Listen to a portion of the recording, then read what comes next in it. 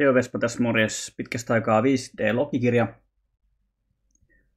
Joo, tässä on henkilökohtaisessa elämässä myös mennä asioissa eteenpäin. Tota, vähän enemmän itse, itse työskentelyä tehnyt tuossa ja rauhoittunut, kun ollut aika tämmöinen energeettinen kesä, jos sanotaan näin, että on hirveästi ollut, ollut energiaa ja hälinää ja, ja on tullut joutu alkoholi kaveritten kanssa ja muuta tällaista näin, niin nyt on taas vähän semmoista rauhoittumisvaihetta tässä. Mennään asioissa eteenpäin, mutta nyt tuli kuitenkin tuossa, jatketaan 5D-logikirjaa, eli tuossa yöllä oli mielenkiintoinen kokemus, vietiin tota, me lennettiin niin kuin avaruudessa oli kaksi semmoista pientä alusta.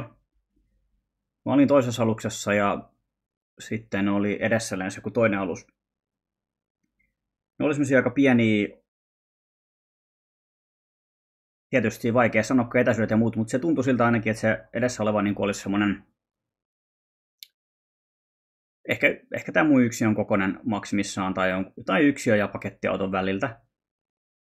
Et sinne menee ehkä joku pieni tiimi, ehkä viisi tyyppiä tai jotain siihen alukseen.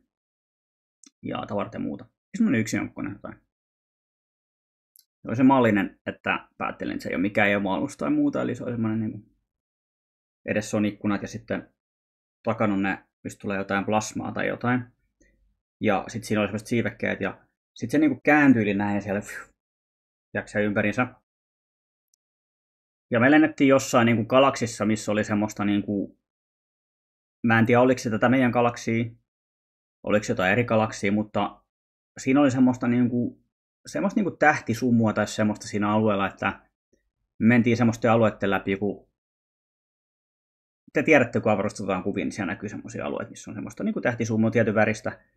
Mä en nyt muista, minkä väristä se tuossa oli. Mun mielestä se oli niin keltaista lähinnä se, se tähtisumu ja sitten siinä oli jotain muutakin pigmenttiä.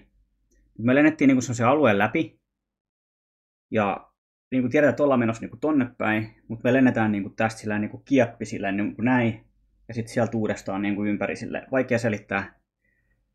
Uh, millä mä nyt näyttäisin vaikka tällä. Tässä on tämä keula, niin me lennetään niin kuin näin niin kuin suoraan ylöspäin ja sitten sieltä niin kuin, fiu, käännetään niin kuin ympäri niin kuin näin. Ja sitten, sitten näin. No te tiedätte, kun esimerkiksi lentokone tekee niitä lentonäytöksiä kaiken manuvereja, me niin tolleen mentiin.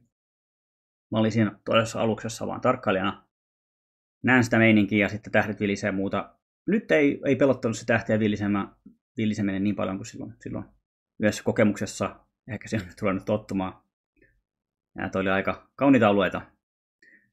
No sitten seuraavaksi me ollaan siellä planeetalla jo. Että mulla ei ole niinku muistikuvia, vaan siitä, että me otettiin, tehtiin se kieppi ja otettiin suunta sinne ja sitten Serov muistikuvassa me ollaan siellä planeetalla jo.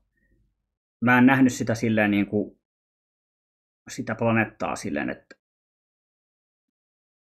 tiedätte, kun vaikka kuusta on kuva, että tässä on kuu, tässä on Jupiter täällä. Mä en nähnyt siitä etäisyydeltä, vaan me nähtiin sitten jo siellä, kun, siellä, kun lennetään, lennetään sitä, tota, maan, sitä niin kuin alueen pintaa, pintaa jo mennään siellä eteenpäin, niin sitten mä näen sitä lähinnä. Eli tässä voi, täytyy protokolli taas muuttaa, koska mä pyysin silloin, että niin, mä kyllä sanoin, että hitaasti lä- lähestytään pintaa ja sitten lennetään yläpuolella. Sillä mä oon niin neuvonut, että ei mennä nopeasti jonnekin. Mutta tässä mentiin vähän nopeammin. Mä olisin halunnut taas nähdä kauempaa sen, että ne jätti tämän vähän mysteeriksi mulle, mutta se on yleensä tarkoitus. Aina mitä ne näyttää ja jättää näyttämättä, niin on tarkoitus. Eli tämä laittoi mua etsimään nyt myös. Ja sitten herätessä mä myös sitten otin kanavointi yhteen ja kysyin, että olikohan tämä tämä mesta tälleen. Mä sieltä pientä nyökyttelyä ja tällaista. Ja siellä oli, mulla on vähän heikot muistikuvat siitä. Mutta mä muistan, että siellä oli, niinku, siellä oli niinku aavikkoa tai semmoista jotain keltaista jakkaa ja muuta. Ja sitten oli alueita, mihin me mentiin, oli, oli taas luminen alue, niin kuin siellä kuunneltiin Marssia aikoinaan siellä lumialuetta, niin siellä, on, on lunta myös. Niin tota, sitten näytettiin, no, me mentiin sinne lumialueelle, ja siellä itse asiassa oli semmoisia niin Eskimon näköisiä tyyppejä mitkä otti meidät siellä vastaan. Me mentiin semmoiselle rakennukselle, joku tämmöinen tukikohta, en sitä tarkastellut sen enempää sitä itse rakennusta, mutta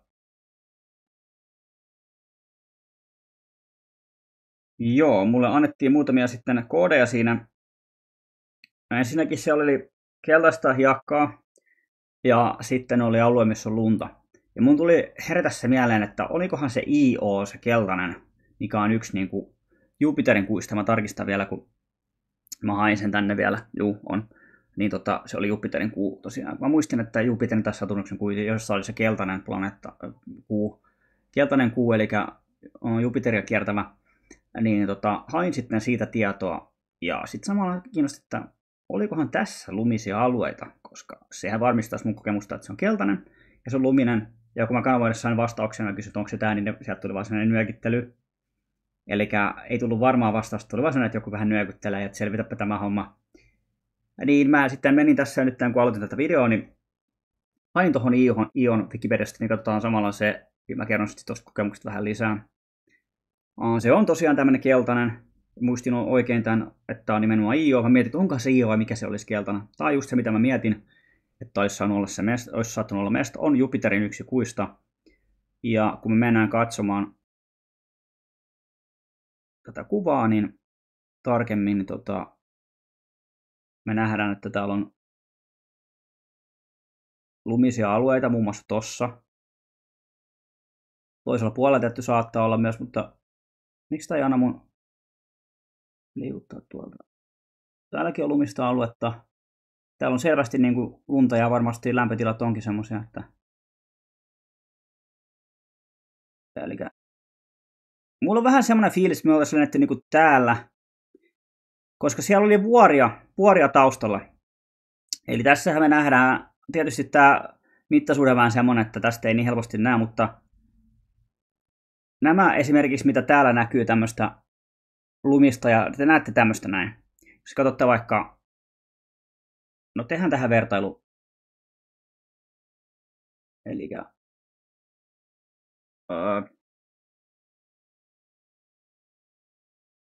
Everest. Stop. Picture. Kirjoitan mä oikein tuo Everestin nyt. Koska miltä se näyttää niin kuin yläpuolelta? Okei, nämä on aika läheltä, mutta nä, niin kuin näkyy, se on tuommoista, mutta voisin nähdä sen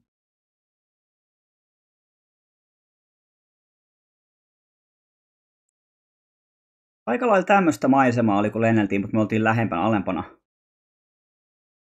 Siellä oli niinku hiekkaa ja sitten oli, tämä niinku kuvaa aika hyvin sitä, vaikka tämä on tuolta Montenevestä, mutta hyvä niinku vertailu siihen.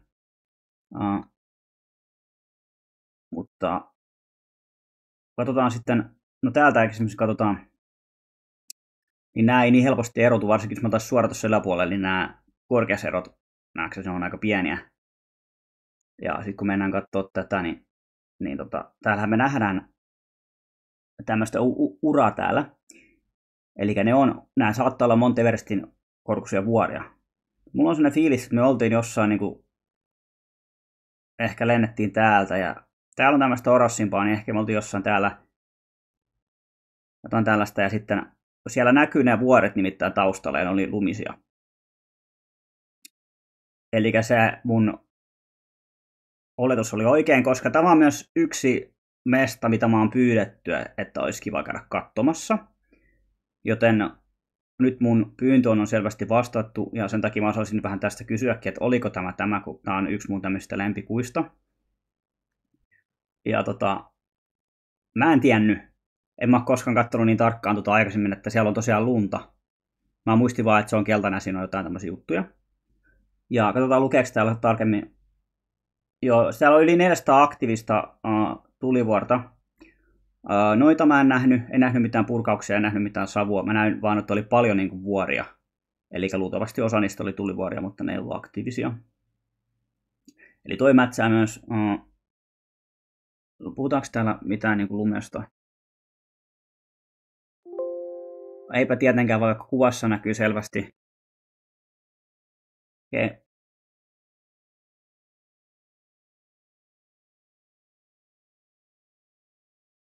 Okei, tässä sanotaan, että se on, on silikaterok, eli onko tämä piikiveä?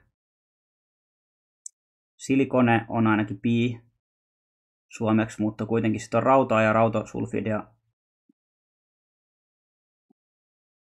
mä en nähnyt sieltä semmoista mitään rautasen näköistä pintaa. Et se oli, ehkä siellä on, mutta, mutta se oli mun mielestä semmoista niinku hiekan peitossa ja mulla ei ole tarkkoja tota, muistikuvia, mutta mä en, ei näyttänyt siltä, että heitä on niinku joku rautaplaneetta tai mitään. Ja nämä on tietysti kaikki päätelmiä ja johtuu millä alueella me ollaan täällä, että kuinka kiinteätä vaikka missä on. Se johtuu täysin myös siitä.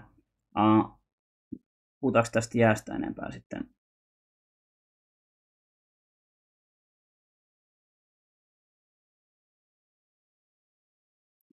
Devoid of water Mitä se devoid tarkoittaa? Niin kuin ei, ei ole vesijäätä. Mitä jäätä se sitten on? Tässä nyt nämä koittaa kieltää, että siellä ei olisi jäitä, mutta näissä kuvissa, okei. Okay. Näissä näkyy tuommoista kanssa. Not ised. Jopa ise, ise. Juise, juise, juise, juise.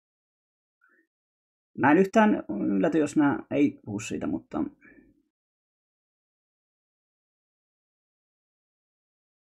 ja tässä sanotaan kuitenkin, että ja tässä sanotaan, että muut on sitten. Muuta, muut kyllä on, mutta täällä ei.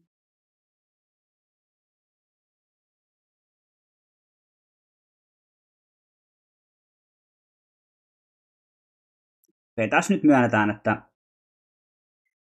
sen density eli tiheys ja muut viittaa siihen, että, se, että siellä, ei ole, siellä on todella vähän tai ei ole ollenkaan vettä, mutta pieniä vesi, vesijäätaskuja on löytynyt ja niin edespäin, mutta eikö ne osaa niitä kuvia niin kuin katsoa? Siis aivan selkeästi, selkeästi tota, kun katsomme tätä kuvaa. En yhtään ihmettele, että eihän tätä vielä ole tutkittu tarpeeksi. Mä ymmärrän myös sen, ja kuinka moni on zoomannut näin paljon tähtitieteellistäkään näitä, tai tutkinut, että mitä nämä valkoiset täällä, valkoiset alueet esimerkiksi, tämä on täällä selvästi valkoista. Rauta ei ainakaan valkoisen väristä. Vaikka taisi rautapitoinen tämä keltaista esimerkiksi, niin tota, täällä on selvästi lunta. Okei, se tosta, mitä, mitä tosta sitten Wikipedia kertoo. Ja tota, mä katson vielä, mitä mä, mä kirjoitin ylös sitä kokemuksesta, että jäikö siinä jotain sanomatta vielä. Itse asiassa mulla on jo puoli sanoa tai tämmöinen, mutta mm, mulla on yleensä aina, aina tota, no, Avalon sanottiin kerran mun ekassa kontaktikokemuksessa, jos se lasketaan henkiopasta, niin, niin tota, kerrottiin sana Avalon. Ja sitten sitä, kun mä oon googletannut, niin on sellainen myyttinen saari tai alue, mikä joskus on ollut olemassa, ja siihen liittyy Merlin ja muut. Ja juuri nyt sitten eilen katsoin semmoisen kana, ei kun tänään taisin katsoa sen, tänään vai eilen, tänään kanavoinnin, missä puhuttiin, että Avalon energiat on aktivoitumassa Briteissä tällä hetkellä, että avaruusaluksesta lähdetään sinne pulsseja ja niin edespäin. Eli ne alueet on ollut jossa nyt Tämä on eka kerta, kun mulla on sen jälkeen tullut mistään vastaan tuo Avalon juttu. Ja siitä on yli 10 vuotta aikaa, ja sama sanottiin, että sana Avalon. Eli on tarkoitettu jätetty semmoista tietoa mulle, mikä sitten myöhemmin aktivoituu, tämmöisiä koodisanoja ja muita. Uh, niin, sitten me oltiin jollain alueella, missä oli sitä hiekkaa, niin sieltä tuli niinku, maasta tuli liikkuva juuri. Mä en osaa kuvata sitä paremmin muuta kuin se, että, että siinä on niinku hiekkaa ja sitten me ollaan siinä alueella, niin sieltä nousee juuret näin. Ja sitten taitaa mennä takaisin. Eli onko semmoista, että onko siellä jotain seismistä liikettä, että maan alta tulee jotain juttuja, että niin kuin sieltä härisee se maa tai että sieltä nousee, että elääkö maanpinta, vai onko siellä jotain muuta, mikä selittää tuon, niin se on sitten mulle mysteeri. Mä en tiedä, mä voin kertoa vaan se, mitä mä näin. Eli oli hiekkaa, mistä tuli niinku juuret ylös ja sitten, mä muistan menikö takaisin, mutta tuli ainakin ylös. Mun mielestä ne liikkui silleen.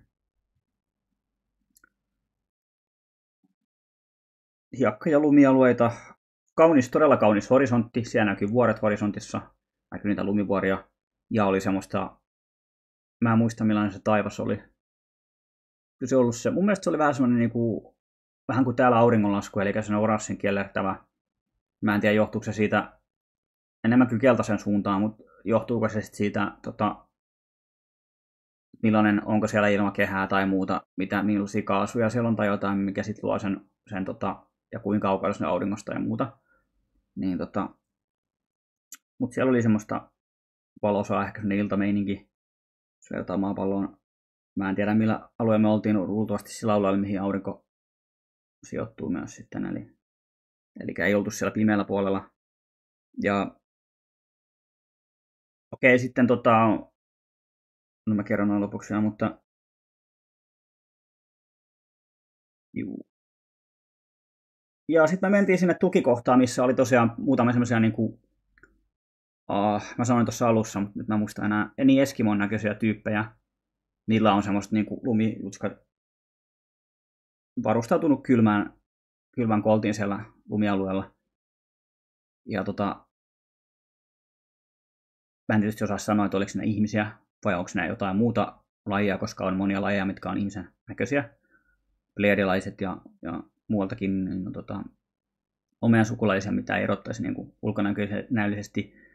Ja on erilaisia sitten muun muassa Maija on yksi tähti, mikä on Pleiadeilla, niin on tämä Maija tähti, missä on semmoisia asteekin näköisiä porukoita.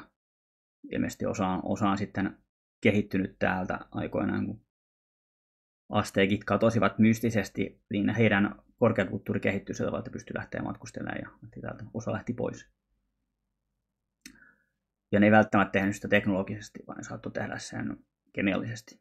Eli ne nosti uh, tietynlaiselle kasvisekoitukselle muille oman, oman värähtelyään sillä tavalla, että he pystyivät niin kuin, ehkä kehosta irtautuneena poistumaan tai sitten kehollaan jotenkin, mikä olisi todella vaikeaa sitten avaruudessa liikkumalla kehollaan ja sitten aluksi tai suojauksia. En tiedä, miten se on tapahtunut, mutta niillä oli, ne oli henkisesti todella kehittyneet, osa, osasi kaikki kasveja käyttää hyödyksi kyllä.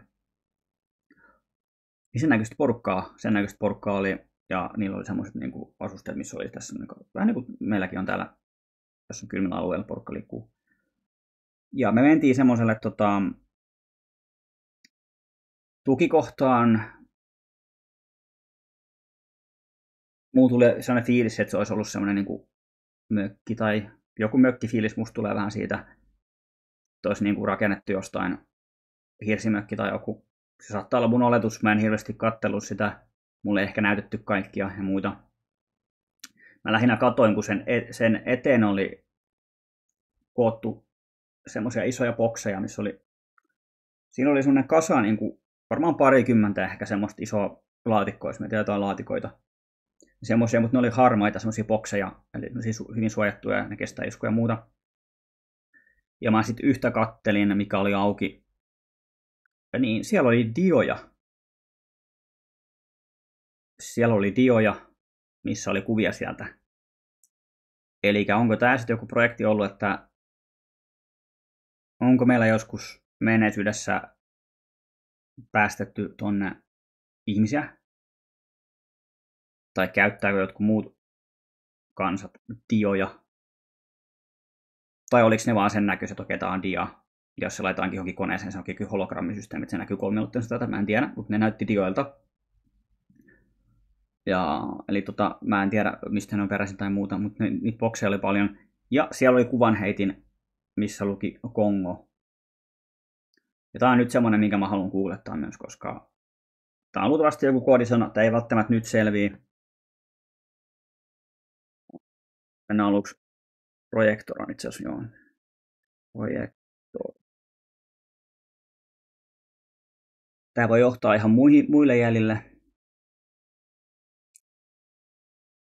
Mojakart Kongo.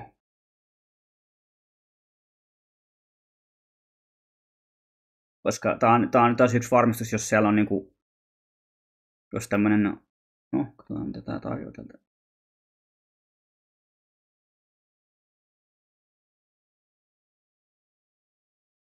Mistäkö se Kongo nyt sitten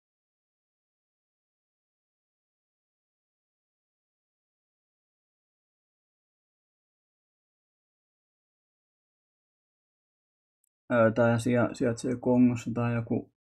Okei. Okay. Tämä ei johtanut jäljille.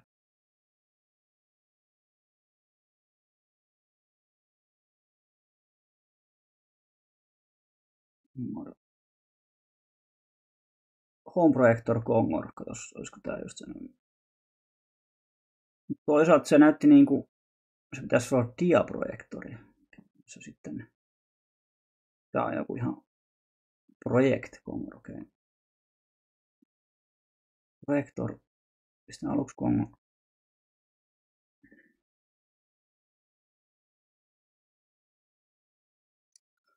Se voi olla myös koodisana, eli katsotaan aluksi tarjoako tämä kuvahaku mitään.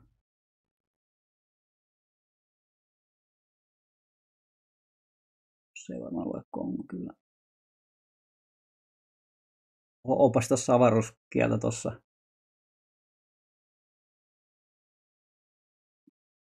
Se voi olla, että se Kongo on se, se hakusana nyt, eli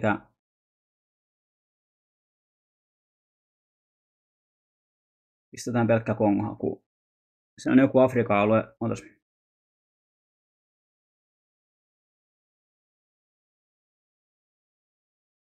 siellä mitään, mikä viittaisi tota, siihen ympäristöön, missä oltiin muun muassa tuskin on. Tämä on luultavasti samalta tavalla kuin se Avalonkin, eli tämä tulee sitten selvi joskus myöhemmin, mitä toi Kongo nyt tarkoittaa. Ehkä mä tuun joskus käymään vaikka Kongossa, mutta se olisi aika en ymmärrä miksi. Miksi kävisin vaikka Kongossa, koska se on niin randomi paikka mulle.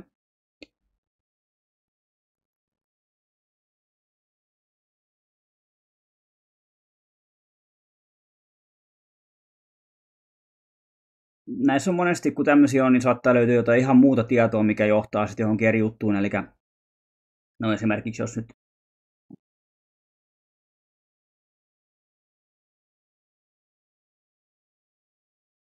sitä suomeksi.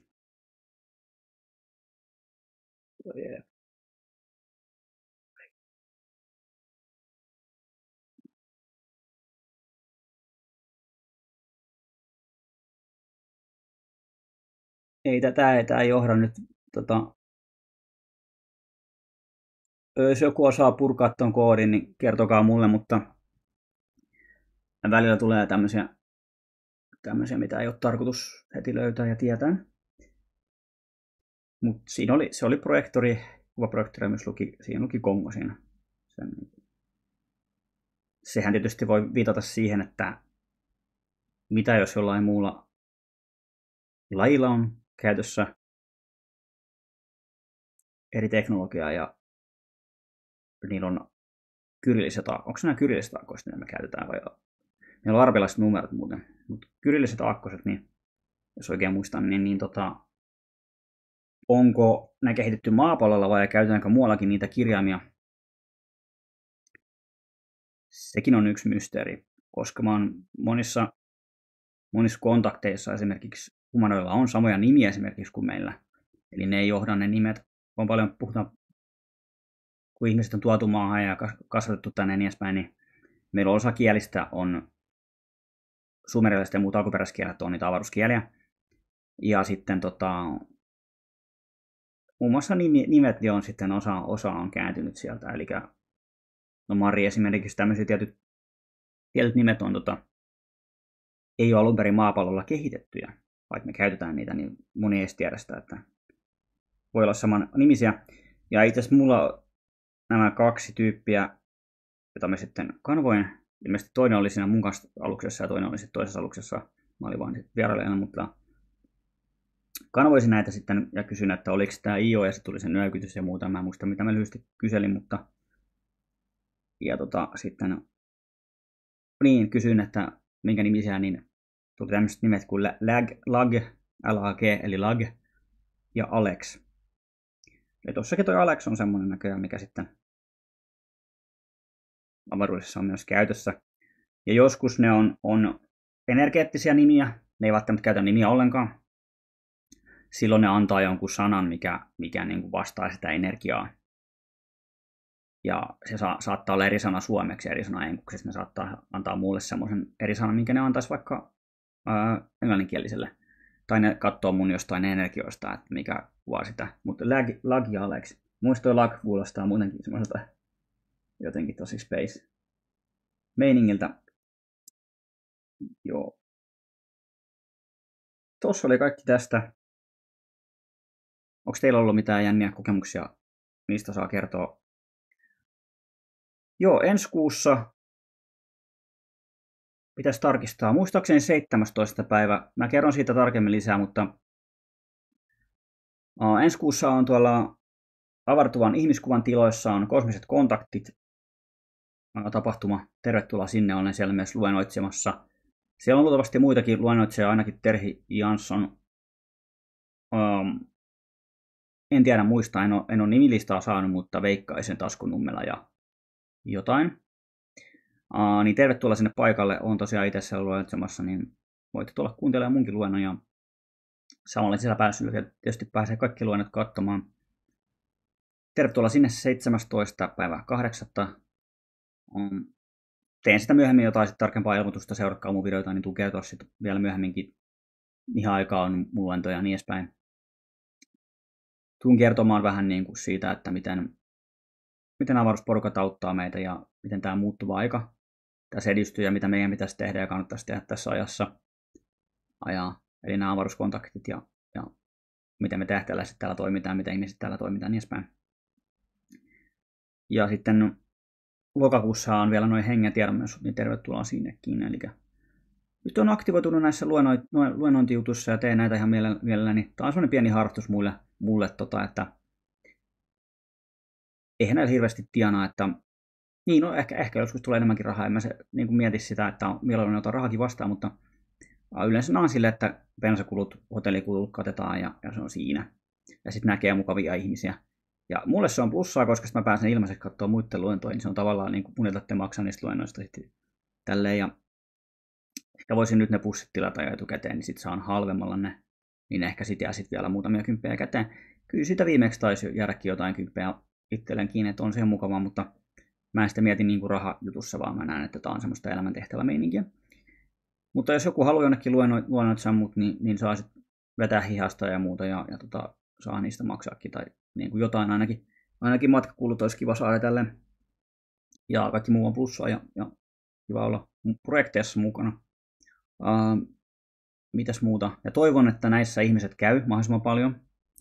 Ja kannattaa niitä, jotka sitten luennoitsee, että sillä tavalla se homma toimii, että käytte paikan päällä, maksatte liput ja tällä ja toivottavasti on aina tupa täynnä, niin, niin tota, kyllähän nämäkin ihmiset, jotka näitä juttuja tekee elämän tehtäväkseen, niin heidän pitää sitten ostaa leipää ja maksaa vuorita niin edespäin. Tässä ajassa niin, niin tota, on hyvin tärkeää sitten tukea, tukea toinen toisiamme.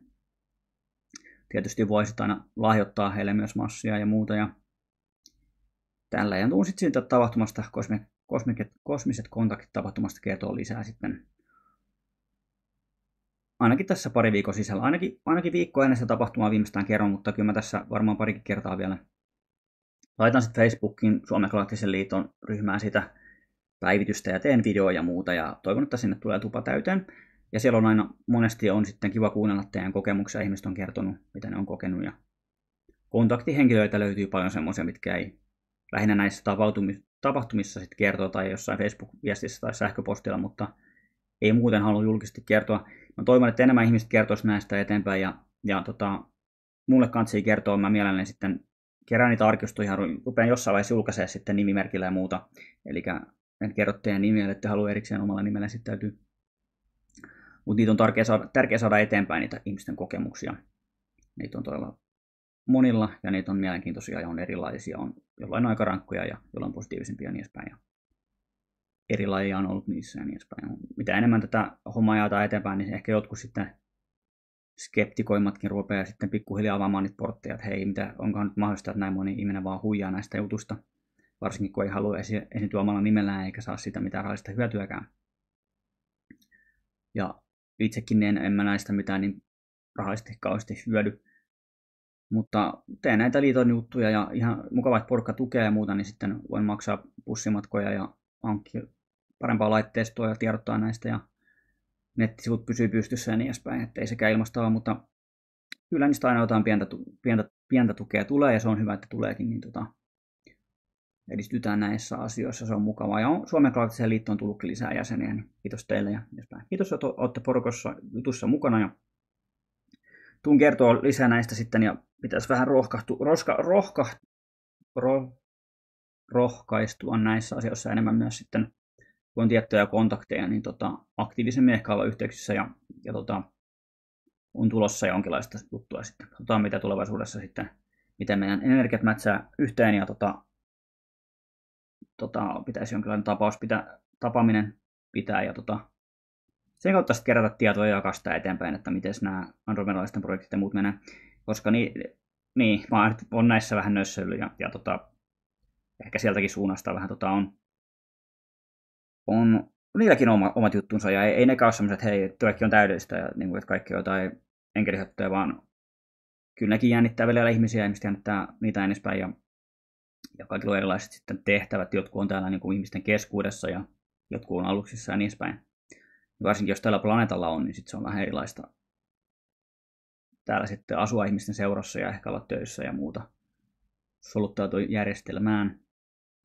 Ja niitähän on paljon sitten politiikassa on, on, on niin kuin, varmaan Suomessakin on, on ainakin tähtisemmin, en sanonut semmoisia step downeja, mutta tähtisemmin ainakin, mitkä on niin kuin, siis syntynyt ihmiskehoon ja sitten kasvanut siihen tehtävään, että on siellä tasapainoa systeemiä. Sitten on niitäkin, mitkä on, on toiselta planeetalta ihmisen näköisiä, mitkä on sanotaan vaikka 30 laskeutunut tänne aluksella ja, ja tota, sitten tehty henkilöllisyydet ja historia ja muu ja niin edespäin. Aluksi on tietysti koulutettu siihen ja muuta. On opiskeltu kieliä ja muuta ja sitten heillä on henkilöpaperit ja muut. Ja, eli elää ihan normaali ihmiselämä, mutta onkin ollut sitä ennen jossain muualla. Niin tämmöistä mua kiinnostaa. Eli step down muun muassa. Tietysti tähtisiemenet myös, mutta kun moni tähtisiemen ei muista niitä entisielämiä hirveästi, hirveästi tai muuta, niin tota, mutta mitä enemmän porukka muistaa niitä, jakaa niitä, niin ehkä se avaa sitä muistia muillakin sitten. Mutta joo, mä enää tuun näistä kertoa myös luennoilla lisää, niin tulkaa messiin ja niin edespäin. Ja tukekaa tämän alan meininkiä muutenkin, ostakaa kirjoja ja muuta ja niin edespäin. Ja saa lahjoittaa rahaa. Ja jakakaa näitä videoita eteenpäin. Jakakaa ainakin niille ihmisille, mitkä näistä ymmärtää. Ehkä voitte heittää jonnekin Facebook omalle seinällekin. Kyllä ne sitten katsoo, ketkä katsoo ja ne skippaa, ketkä skippaa. Mutta sillä, että kuitenkin mahdollisimman monen ihmisen silmille nämä menisi, niin olisi todella hienoa. Mulle tulisi sitten todella kiva fiilis ja, tota, ja tota, ei se haittaa, vaikka siinä on mukana tulee pari skeptikkoa joukkoa, mutta kiitos teille, olette mahtavia ja, ja tota, pidetään lippu korkealla ja, ja tota, niin edespäin. Aika moni teistä muuten jakaa mun videoita, mikä on myös hienoa, että mun tulee se viikkoraportti, niin välillä näkyy 90 jakoa tai jotain, niin mun mielestä on todella hienoa. Jatkaa sitä hommaa. Kiitos paljon. Näin tulee videolla. Vespa Morjens.